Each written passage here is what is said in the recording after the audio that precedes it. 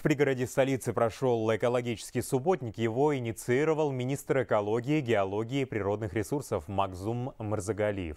Через социальные сети накануне он пригласил всех принять участие в уборке территории Куяндинского водохранилища. За считанные часы активисты собрали больше 10 тонн мусора. К масштабной акции присоединилась и наш корреспондент Елена Устимович.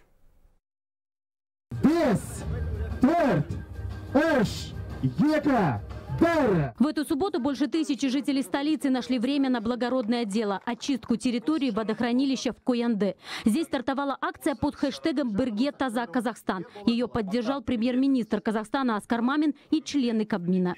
Я хочу в первую очередь поблагодарить вас за то, что вы нашли возможность принять участие в этой экологической акции «Берге Таза Казахстан». Я уверен, что эта акция получит широкое распространение по всему Казахстану.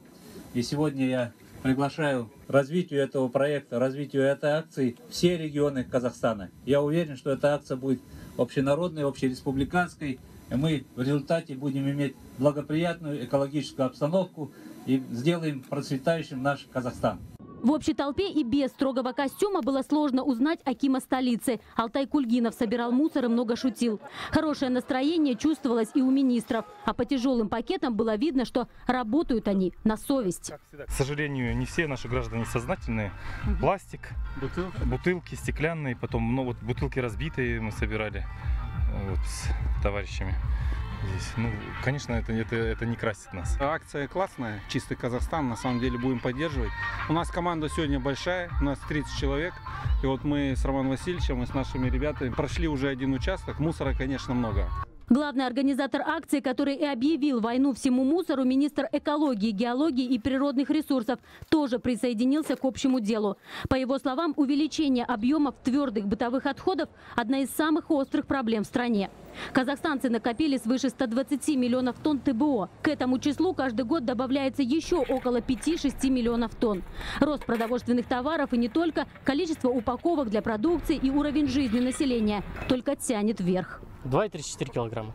Получается, мы вносим запись, сколько килограмм, и в конце все это будем суммировать. Мусора много, там получается свалка. Вот эти жители все туда все сливают, выкидывают. Вот смотрите, прям пакетами большими такими.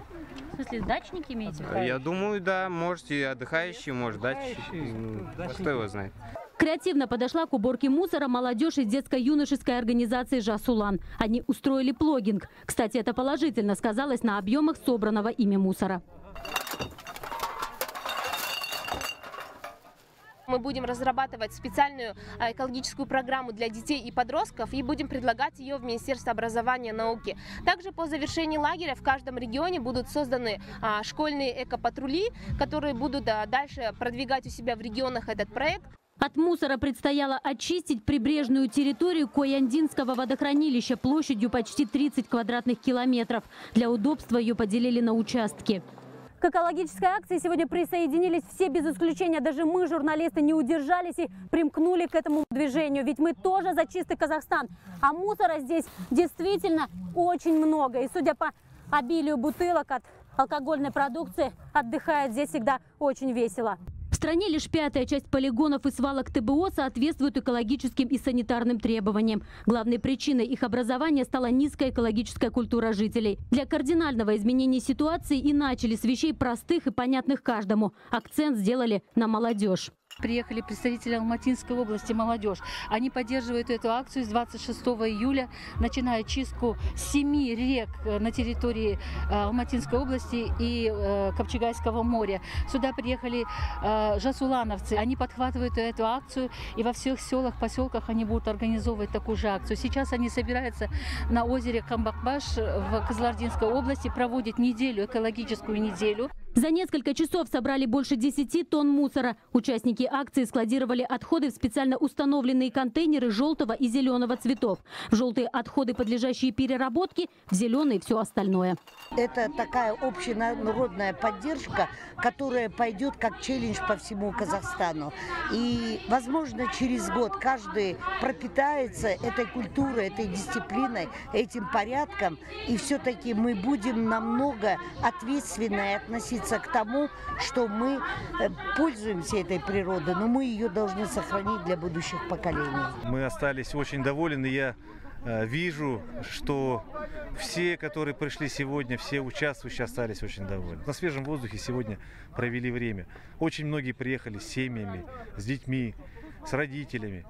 Поэтому э, я думаю, всеобщее удовлетворение у нас есть. Самые активные участники получили памятные сувениры и благодарственные письма от профильного министерства. Но самое главное, все получили заряд положительной энергии и четкое убеждение – чисто там, где не ссорят. Елена Устимович, Аят Дусимбаев, Хабар 24.